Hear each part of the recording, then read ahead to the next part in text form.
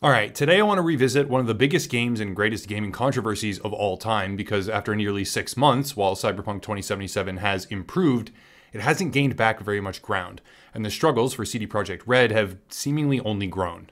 I probably don't have to rehash what the game actually was at launch. I've said it many times, countless others on YouTube have said it as well, and while I myself greatly enjoyed the story and certain choices that were presented, as well as the music, the humor, and the overall city atmosphere in general, it was very obvious that the game offered up two distinctly separate experiences. On the one hand, PC could play a mostly functional product, and on the other, consoles were given something practically unusable. This type of platform divide would always have caused an issue, but it was exacerbated further by the handling of a refund tsunami. CD Projekt Red decided to offload the refund tidal wave onto their platform partners. The solution to a horde of angry gamers demanding that they be refunded was actually a deflection more than anything else, and it was a deflection that wouldn't even necessarily work.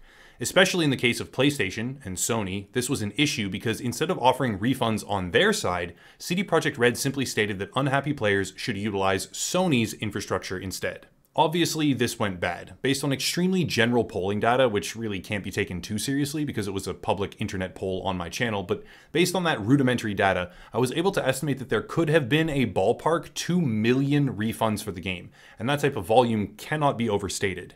More importantly, though, much more importantly, in response to this deflection, Sony decided to indefinitely suspend the game from the PlayStation Store, something that nearly six months later remains true. A lot of people expected this to be remedied by a hotfix or a patch a few days later. I myself expected that within a few months at most, there would be a reversal of this decision based on updates and general bug fixing or exploit patches, but nearly six months down the line, there has been no change whatsoever. Here's the problem with that. Sony is a powerhouse in the industry, and losing access to that storefront for a flagship product, it's gonna hurt. For CD Projekt Red, it hasn't just hurt, it's been devastating. In their most recent investor call, it was acknowledged that the year to date unit sales for Cyberpunk 2077 are well below 1 million copies, which is shockingly bad for a game that was hyped for years pre launch.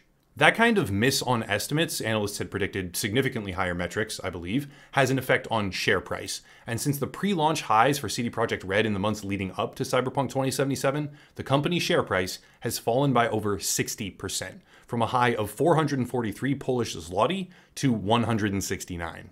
Speaking of investors, it's been a really rough six months there too. In the aftermath of launch, when the console performance issues were initially discovered, a reality that was deliberately hidden by CD Projekt Red when they mandated that all pre release reviewers would only be allowed to use pre recorded footage for their videos and not allowed to display their own content. But when that deliberately obfuscated fact was discovered by the wider public, there were lawsuits. It started with one, then two, then two more, and now moving forward six months, those cases have merged, sort of, into a larger, more centralized lawsuit which could have cross case verdicts and precedents. These lawsuits are not from gamers or consumers, they're from investors, because in the year preceding the actual launch date, CD Projekt Red executives had said things like, quote, the game runs surprisingly well on consoles, end quote. A statement that could not possibly have been true since the game literally made AAA history by being stripped from the PlayStation Store owing to its disastrous condition. Among multiple other statements, this contributed to an atmosphere where shareholders believe that they were deliberately misled, which opens the door for some sort of legal recourse. And that is exactly what we are seeing with a multi case summary set to move forward probably sometime next month, possibly, but really, who knows? This kind of stuff moves slowly. Sadly, that's not even the end of it. Early in 2021, about two or three months after the game's initial launch, CD Projekt Red was hacked. During that hack, infiltrators reportedly made off with the source code for a number of their games, including Gwent and Cyberpunk 2077, ultimately selling that source code to the highest bidder online. It's a very interesting story, actually, and reportedly ends with the code being sold for $7 million on the dark web. But when it comes to CD Projekt Red, their servers were also encrypted and ransomed. That encryption caused them significant hardship. Workers ground to a standstill, and the updates for the game were severely disrupted, which only further damaged their stock price, by the way, and exacerbated all existing hardship. Also contained within that leak, though less known and less immediately damaging, was reference to an internal development practice where items and content slated for censorship, so that the game could be sold in China, were flagged with a Winnie the Pooh tag. In my eyes, that's hilarious, but for domestic Chinese company partnerships, not so much. And to do business in China, you need to have a CCP authorized publisher who takes the helm for that region. So we might never know what that caused, but it definitely wasn't a net positive for them. That much is certain. One of the final items from their most recent conference call was an interesting graph titled Stability Improvement, which logged relative crash rates. That's not a typical thing to see as far as I know, and despite a general improvement over time, which has to be acknowledged, it was curious to note that some of the patches seem to have caused a spike in the crash rate, only to fall over time afterward. Since hotfixes are actually included in the chart, I was, and actively am, confused on how that would be possible, I guess, but in the end, at least the stability is noticeably improving. As if all that wasn't enough, CDPR has also been losing high level staff. In March of 2021, Cyberpunk 2077 senior gameplay designer suddenly quit the company after eight years on the job.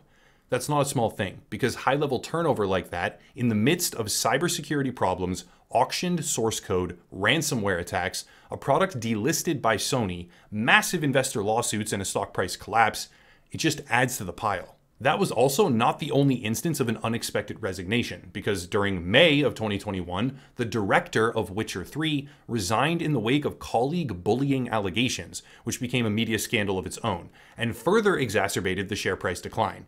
There were game issues, partner issues, investor issues, security issues, and now internal workplace and personnel issues.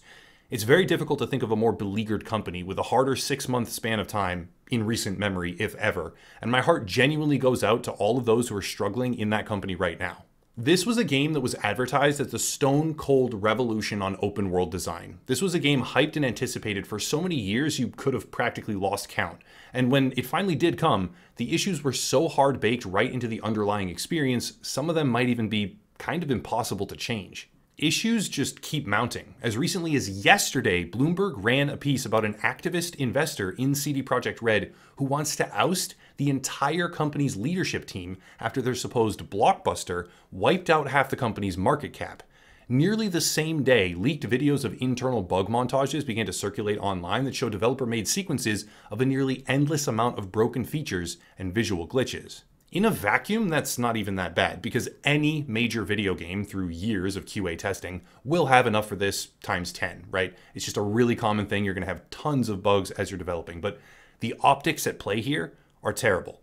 It seems like this material was gained during the ransomware attack, and now it is alleged, I haven't seen this myself, so take this for what you will. It's alleged that the files stolen have been uploaded online, and access to the folder is being sold for like $10 a pop.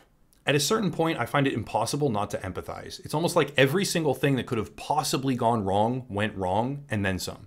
Yes, there were point blank lies by executives in the lead up to launch, which is entirely unacceptable. Yes, the refund response was kind of absurd and probably contributed largely to Sony's brutal policy these past six months by flat out denying it from the store. Yes, investors have a right to sue if they feel that the company has flat out lied to them, but a ransomware attack? synchronized with highly prominent team leaders making their exit soon afterward, or even executives being ousted for interpersonal issues, that's extra. On top of everything else, that's just so much extra. The speculative roadmap, though they didn't really have an official one, but the speculative roadmap for Cyberpunk 2077 has been completely thrown out. Understandably so, let me just set that straight, but still, it's not a good thing to see.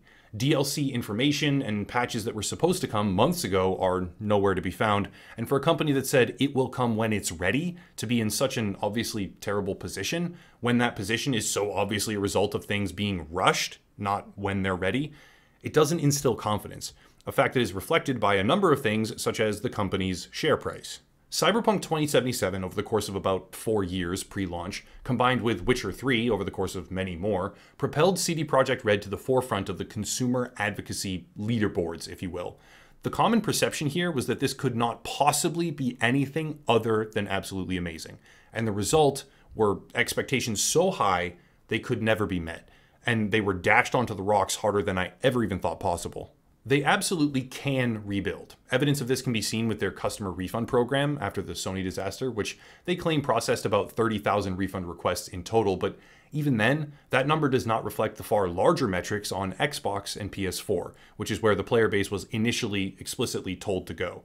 The rebuilding process is possible. Just look at Hello Games and No Man's Sky, but it's not going to be easy. I doubt that they will ever rise to the same heights again, but again, it is possible. This kind of thing and this particular event by itself will haunt them. It will become, and it already is, honestly, an integrated part of their identity, which can be used by detractors for the rest of their lifespan as a company to decry anything that they try to promote as probably terrible. And that kind of attitude might actually be justified, technically, but it's really sad to see because this is by no means the end of CD Projekt Red, and it's not the end of Cyberpunk 2077 either. Looking back after six months at everything that has happened, and that's why it kind of felt like the right time to make this video, it looks bad. It looks really bad. It's one of the worst six month time frames I've ever seen for a company in this industry, probably in my entire life. But if, and I believe when, personally, they get back up from this, which I think they will, they will be stronger for it that level of impossibly high faith, like the really delusional faith that no matter what it is, it will change the world for a video game, that will likely never return. But maybe, maybe that's a good thing. In the end, I wish them luck rebuilding what was lost because I believe that there is still more to come from that studio, and I want to see what it is. That's it. I wanted to keep this slightly more hopeful than I have been in the past because it feels like the right decision looking back on everything. If you want to support, there are links down below. You can watch my entire content library on Odysee, which is beneficial to me, and it's a YouTube platform alternative for those who want to check that out. Sign up link down below. There's locals, $5 a month for the channel, and you get completely ad-free videos. There's another gaming YouTuber to check out, merch, social media, etc., etc., but I'll cut it there and stop rambling. As always, thank you all for watching, and have a nice night.